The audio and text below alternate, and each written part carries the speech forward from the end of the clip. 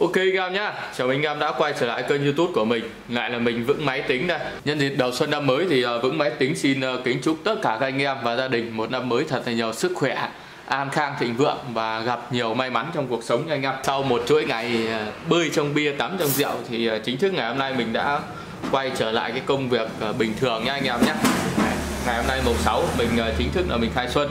Ờ, trong cái khoảng thời gian ờ, nghỉ Tết ấy, thì có rất là nhiều anh em nhắn tin Facebook, Zalo cho mình. Nhưng mà ờ, anh em phải thông cảm là cái khoảng thời gian đấy mình cũng tương đối là bận. Với lại Tết nhất là cả nên là có rất là nhiều tin nhắn của anh em mình không trả lời hết được thì mong anh em thông cảm. Còn nếu như anh em vẫn có nhu cầu build máy ở bên mình ấy, thì chính thức từ ngày hôm nay mình đã bắt đầu làm lại nhé anh em nhé anh em có nhu cầu build máy dựng máy lương cấp hay là trao đổi mua bán các kiểu con là đều thì anh em cứ gọi điện trực tiếp đến số điện thoại của mình hoặc là Zalo fanpage cũng được nha anh em quay trở lại nội dung chính trong video ngày hôm nay. Mình sẽ review cho anh em cái cái con trâu này của mình. Lần trước là mình cũng hứa với anh em là là là mình sẽ cho nó chạy một cái khoảng thời gian ờ, khoảng tầm 1 2 tháng thì mình sẽ sẽ sẽ review và mình sẽ nói về cái cái cái dàn trâu này cái con này là mình mua được khoảng tầm gần 2 tháng rồi anh em ạ. Gần 2 tháng là mình mua là mới tinh anh em nhé mới tinh. Cái dàn ờ, Vega này là mới tinh này. Còn ờ, cái bộ lòng mè nguồn với lại ờ, mên nước này thì nó cũng là mới nhưng mà người ta chỉ bảo hành một tháng thôi anh em ạ. Mên này với lại nguồn này mẹ chip ram với lại ờ uh, mên nguồn và chip ram Ờ, của châu cày đấy thì người ta chỉ bảo hành một tháng thôi. Còn ờ, cái dàn vga này thì là mình cũng mua mới tinh, nhưng mà được ờ, bảo hành theo chính sách của hãng là mình được bảo hành 3 năm nha anh em thế thì cái dàn này ngày xưa là mình mua khoảng tầm 120 mấy triệu anh ạ 120 mấy triệu một cái dàn này. Thì mình đào tháng đầu thì mình bán ETH đi thì được khoảng tầm 9 triệu mấy đấy, thì mình cũng chưa chưa chưa chưa tính chính xác khoảng tầm 9 triệu mấy. Và mình ờ, đào đến tháng thứ hai thì cái tiền ảo nó xuống giá đấy. Thì ờ, mình tính ra tháng 2 nó được khoảng tầm tầm 6 triệu thôi anh em 6 triệu nhưng mà mình ờ, không bán. Mình vẫn chữ ETH đấy để khi nào lên giá thì thì thì mình sẽ bán. Và đến tháng thứ hai thì nó xuất hiện một cái vấn đề là cái con nguồn anh em. Cái con nguồn này nó bị bị chết nguồn nhá anh em nhé cái con trâu này là mình gửi ở xưởng ở Đồ Sơn thì người ta lấy 1 triệu 6 là cả tiền điện với tiền ờ, trông coi bến bãi các thứ. Thì trừ đi một tháng tháng đầu tiên ấy thì con này nó chỉ được khoảng tầm lãi được tầm 8 triệu anh em ạ. Ờ, tính ra lãi được khoảng tầm 8 triệu. Tháng thứ hai thì mình chưa bán tại vì giá nó xuống quá. Đấy, và đến ờ, tháng thứ hai thì nó phát sinh cái vấn đề là là nó bị chết nguồn đấy. Nhưng mà mình vẫn chưa thử tại vì là người ở xưởng người ta thử cho mình như là báo chết nguồn mình cầm về được ờ, khoảng tầm 2 tuần rồi nhưng mà lại đúng vào cái dịp Tết nên là chưa có thời gian đi mua nguồn thay.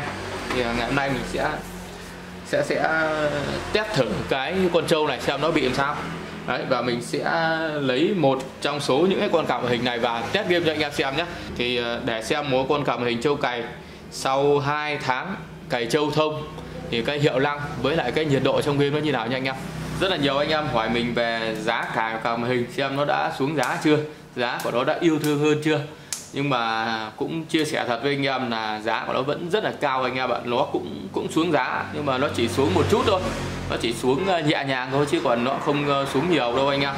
Và những cái con cào màn hình ví dụ như là GTX 1050 100 Ti đấy thì uh, trên thị trường bây giờ giá của nó vẫn vẫn tương đối là cao. Và cũng đúng như là mình dự đoán thì trong cái thời điểm hiện tại này thì uh, tiền ảo nó lại lên giá. Trong Tết thì uh, cái đồng ETH ấy, nó rơi tầm uh, nó rơi tầm 24 25 nhưng bây giờ nó, nó lên uh, 3 rồi anh em ạ. Nó lên uh, 3 nghìn rồi. Đấy, và theo như cái cái kinh nghiệm của mình thì trong cái khoảng thời gian tới nó còn lên giá nữa. Bitcoin và ETH nó còn lên giá nữa. Nên là anh em có nhu cầu build máy thì ví dụ như anh em cần máy thì anh em cứ build thôi chứ còn không biết đến bao giờ mà nó xuống giá đâu mà anh em chờ nhé quay trở lại con trâu của mình thì mình sẽ à, tháo mấy con cà cái ra cho anh em xem. Đây là cái dàn trâu sau 2 tháng sử dụng của mình đây. GTX 1660 Ti này anh em. Đấy, cái này con này là mình à, mua mới tinh chạy thông 2 tháng rồi đây à, ở trong cái chuồng trâu ấy thì à, lúc nào nó cũng có gió gió nó rất là to gió rất lớn nên là cái cái tem này anh em này cái tem này bị thổi sắp sửa là bay mất tem rồi này. Còn là mấy cái tem vỡ này thì vẫn còn. Về ngoại hình mình đánh giá là nếu như mà vệ sinh như đấy thì nó vẫn còn gần như là mới luôn nó không có gì biến đổi về ngoại hình đâu anh em. Cày trâu ấy thì nó cũng chỉ như là một cái quân máy tính bình thường thôi nhưng mà có cái là nó sẽ chạy 24 trên 24 và nó sẽ chạy mắc công suất của cái dàn cào màn hình này. Nên là những con cào màn hình cày trâu ấy, thì nó sẽ nhanh tã hơn anh em. Nó sẽ nhanh tã hơn những con cào hình mà anh em ờ, sử dụng mà như văn phòng hoặc là sử dụng để chơi game bình thường ở nhà. Con này thì mình vẫn còn để nguyên cái ly lông bọc nhá. Nên là nếu bóc ra còn rất đẹp này anh em, không han hiếc cái gì. Và theo như cái quan điểm của mình ấy, trong một, hai năm tới, nếu như anh em ờ, build máy cũ đấy thì ờ, gần như những cái con máy của anh em đều dính đến cạc châu cài hết nha anh em. Bởi vì ờ, những cái con ờ, mã như thế này đổ lên về hiệu năng ấy, thì gần như ở trên thị trường này bây giờ toàn là lắp cho châu cài thôi anh em.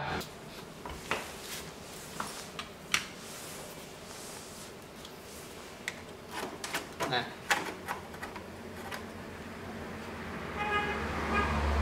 đây anh em nhìn này, bụi bẩn bắt rất là nhiều nhé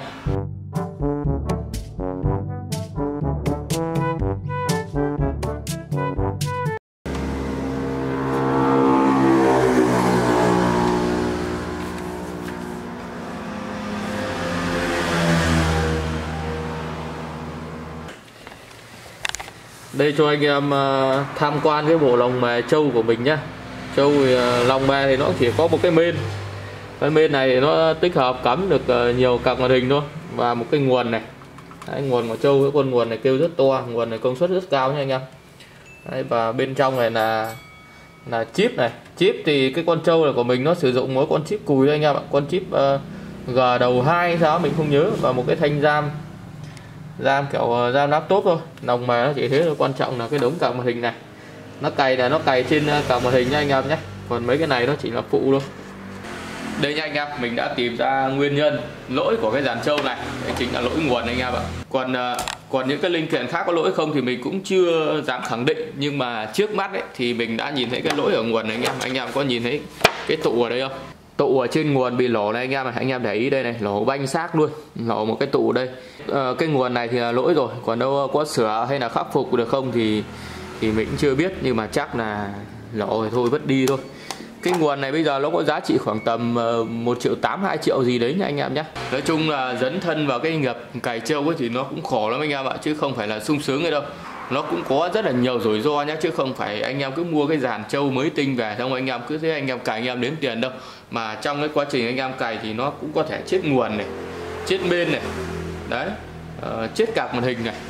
Đấy, cái cạc màn hình này thì uh, thực ra là mua mua mới tinh nhưng mà cũng có nhiều cái đơn vị uh, người ta bảo hành rất là phủ khoằm ví dụ như là cái dòng dòng của Asus này.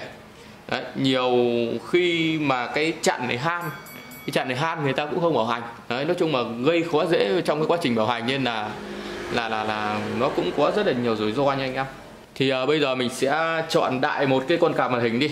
Mình sẽ chọn cái con card màn hình này và mình sẽ sẽ sẽ test game cho anh em xem nhé. Đây. Thì uh, cái combo mình uh, test Vega ngày hôm nay thì cũng uh, rất là nhẹ nhàng tình cảm thôi anh em. Một cái combo main uh, chip RAM tầm trung nha anh em. Main thì uh, B460 B460 hay 560 nhỉ anh em nhỉ?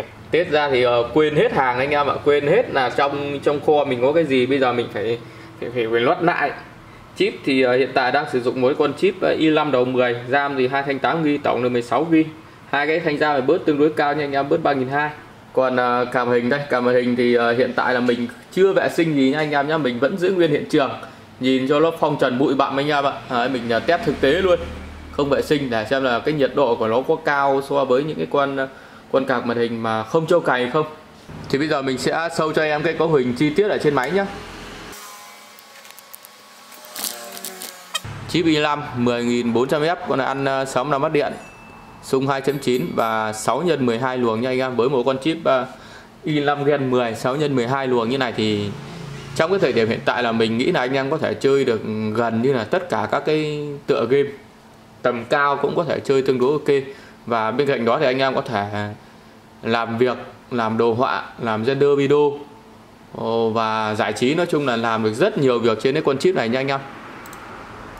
Main ờ, B560 M Pro 4 đến từ Aroc nhá.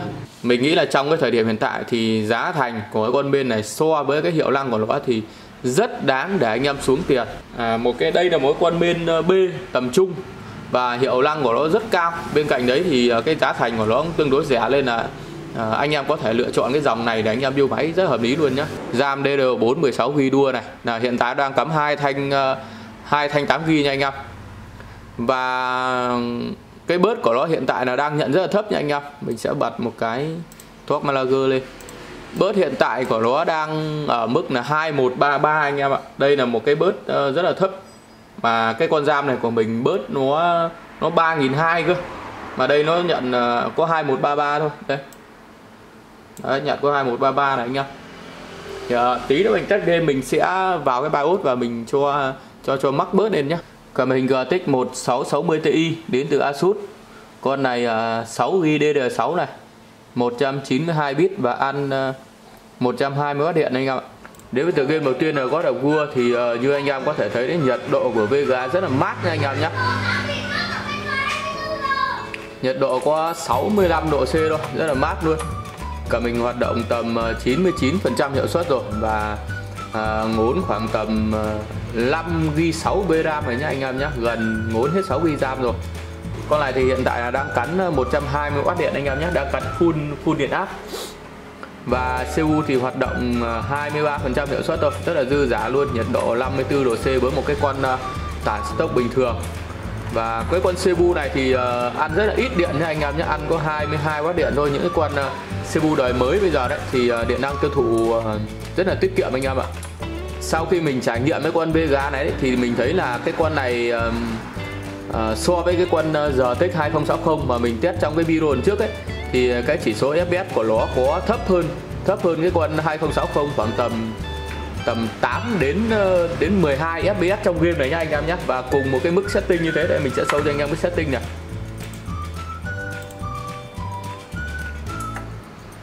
Đây. Đấy, setting hiện tại là mình đang để ultra nha anh em nhé trên độ phân giải Full 1080 GTX 1660 Ti này.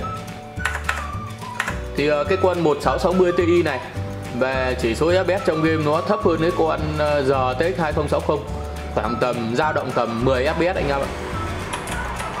Nhưng mà cái con này thì nó mát mẻ hơn nó ăn ờ, ít điện hơn. Cái con ờ, kia thì nó ăn nhiều điện lắm. Con ờ, 2060 mà mình test trong video trước nó ăn tầm gần 200 watt điện cơ.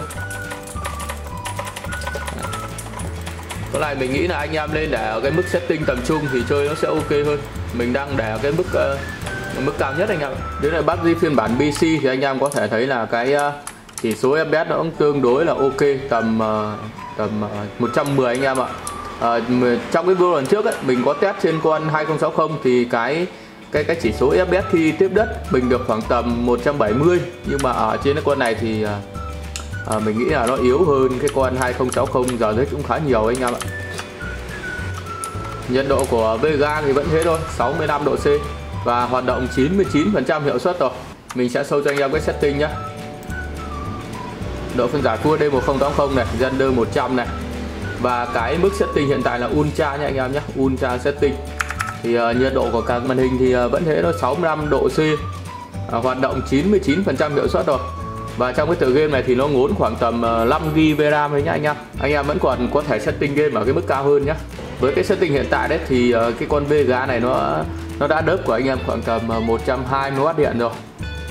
Max setting nha anh em nhé độ phân giải Full HD 1080 và cái uh, mức đồ họa là cao anh em ạ. Đấy. max setting luôn nha anh em. Thì uh, đương nhiên rồi với mỗi cấu hình nó cao như này thì uh, chơi Genshin Impact uh, max setting. Chỉ số FPS uh, max là cái điều quá là bình thường luôn anh em cái uh, tựa game này nó nhẹ nhàng hơn hai game trước lên là nó chỉ uh, ngốn khoảng tầm uh, 2 GB RAM thôi anh em ạ. Tầm 2 GB thôi. Còn uh, rất là dư giả cả màn hình nhá. Cái con uh, Vega mình đang test đấy là một con uh, Vega Vega châu cày. Nhưng mà châu cày thì nó có nhiều loại anh em ạ. Châu loan châu già. Thì uh, châu loan thì là những cái con uh, cả màn hình người ta cày khoảng tầm uh, 5 7 tháng đổ lại. Thì uh, gọi là cày uh, cày lướt thôi. Đấy thì là châu loan thì ờ, đối với cái bản thân mình ấy, thì mình nghĩ là anh em vẫn có thể mua những cái con trâu luôn về anh em ờ, lắp dựng máy làm việc giải trí chơi game thoải mái không vấn đề cả. Còn ờ, nếu như anh em xác định mua mua trâu ấy mà mua trâu già đấy thì uh, anh em phải chọn những cái con nào mà thứ nhất là nó nguyên bản cái thứ hai là nó ngoại hình nó còn ok chút. Cái thứ ba quan trọng hơn cả là cái giá thành của nó phải thật là rẻ để đánh đổi cái cái cái hiệu năng cũng như là cái độ an toàn trong cái quá trình mà anh em sử dụng. Còn trâu lon thì thoải mái, trâu già thì anh em cần lưu ý. Và khi mà anh em mua những cái con VGA đấy, thì anh em tránh những cái con trâu mà nó có thâm liên cày ra. Ví dụ như những cái dòng GX 470 570 580 những cái dòng đấy thì là nó có thâm liên cày rất là lâu rồi và hiện tại thì giá của nó cũng tương đối là cao nên là mình nghĩ là anh em bỏ cái ý định mua những cái dòng dòng GX ấy đi nhá. Của đâu ờ, những cái dòng ờ, GX 5000 6XT với lại những cái dòng tương tự như thế đấy thì anh em bây giờ anh em vẫn có thể mua được. Bởi vì nếu như nó là châu cày thì cái thâm liên cày của nó cũng chưa được lâu nên là anh em vẫn có thể thể thể build máy vô tư nha anh ạ và bây giờ đấy thì uh, kể cả anh em mua những cái con Vega mới đấy thì vẫn có thể dính dính châu cày nhá anh em nhé uh, ờ, những cái con đấy thì người ta chỉ cày nước khoảng tầm một tháng thôi xong là người ta bán.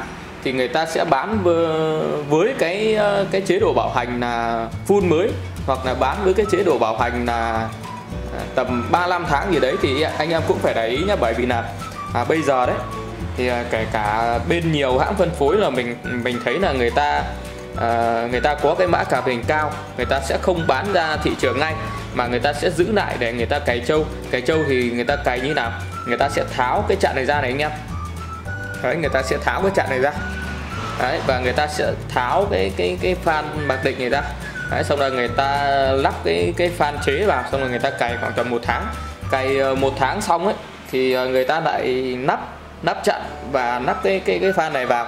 Thì nó gần như là là mới luôn anh em ạ. Đấy, và để trong cái phòng điều hòa đấy thì bụi bặm nó ít nên là cũng rất là khó phân biệt. Nên là anh em mua thì anh em cũng phải để ý kỹ nhá. Anh em à, để ý sâu ở bên trong này. Anh em để ý sâu ở bên trong này. Xem cái mạch biết cái nó có có mới hoàn toàn không, nó có có bụi bặm gì không. Và và cái um, cái tản nhiệt này anh em này người ta chỉ tháo quạt thôi chứ còn cái ờ, cái cái tản nhiệt bên dưới này thì người ta sẽ không tháo nha anh em. Người ta sẽ không tháo tản bên dưới này. Anh em để ý xem nó có bị han nhẹ không hoặc là bụi bụi nhẹ mà không thì cái đấy uh, khi mà cày trâu rồi thì ờ, cũng rất là khó vệ sinh. Nên là anh em cứ để ý kỹ giúp mình nhé đấy là lưu ý cho anh em mua hàng mới tinh. Mới tinh bây giờ cũng có thể lẫn trâu cày. Đấy là mình lưu ý với anh em như thế. Còn đâu anh em mua lướt thì nói chung là cũng tùy anh em thôi cảm ơn anh em đã theo dõi hết cái video của mình nhé nếu anh em thấy video hay và hữu ích, anh em nhớ đăng ký kênh để ủng hộ mình nhé cảm ơn anh em rất nhiều.